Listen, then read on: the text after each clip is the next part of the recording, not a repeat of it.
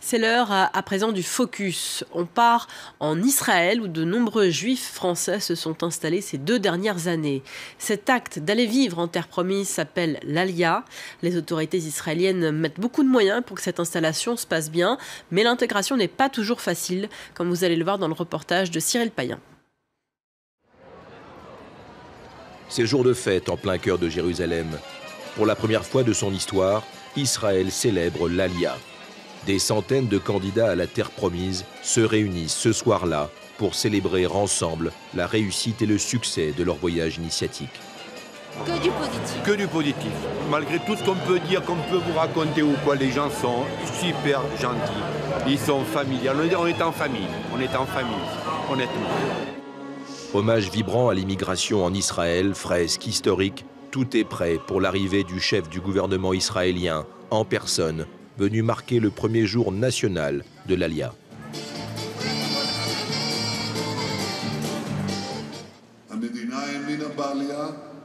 Nous avons toujours cru dans l'Alia, nous avons toujours cru en vous. L'État d'Israël croit en l'immigration. Venez, vous êtes chez vous en Israël. Venez améliorer vos vies dans ce pays fort et à qui l'avenir sourit. La dernière grande vague d'Alia date de ces deux dernières années et elle est française, phénomène désormais bien documenté.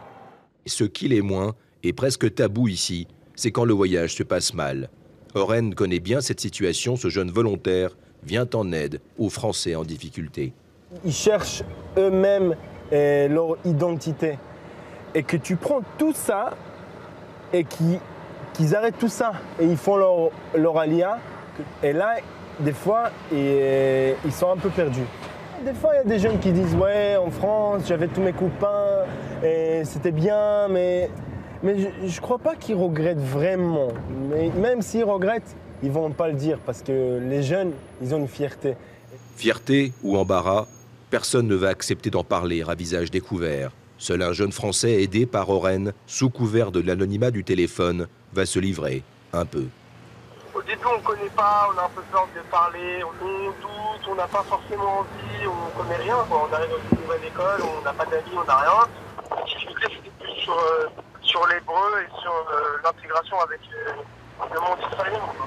Écoute, l'ALIA, c'est quelque chose de compliqué. Alors, il y a beaucoup de doutes. Et il y a beaucoup qui, qui, qui reviennent à leur nostalgie. Mais ça, c'est quelque chose de normal quand tu fais un changement si grand dans ta vie. Tu cherches qu'est-ce qu'était le comfort zone. Tu cherches l'endroit que tu avais une assurance.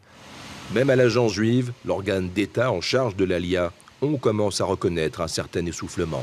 Nous remarquons une baisse euh, assez importante dans les chiffres de l'ALIA française. Euh, nous n'avons pas encore tenté de l'expliquer parce que nous faisons le bilan en fin d'année seulement. Peut-être que euh, les conditions d'intégration ne sont pas celles escomptées par euh, les candidats à l'ALIA et les chiffres absolus sont quand même euh, très élevés dans une perspective historique. Mais il y a une baisse donc et il va falloir tenter de, percevoir, de cerner les causes de, de, cette baisse. L'Alia des Français est un sujet bien connu ici, l'objet même de spectacles comiques très populaires.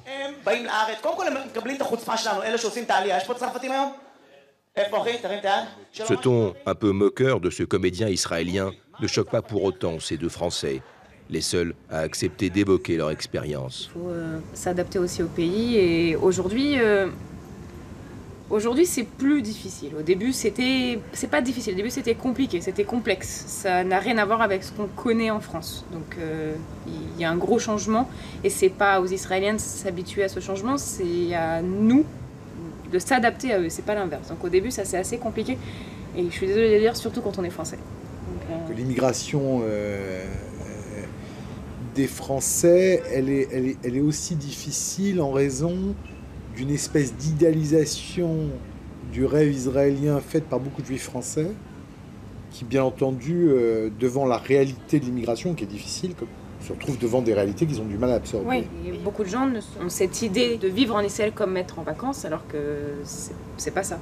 Ils se disent que c'est la terre promise qu'ils vont tout trouver comme ils veulent, et c'est une mauvaise raison d'aller, parce que ce, n'est pas vrai. Euh, ce n'est pas forcément plus facile en Israël. Surtout penser à se dire on fait son alia pour les bonnes raisons. 15 000 Français ont fait déjà leur alia ces deux dernières années.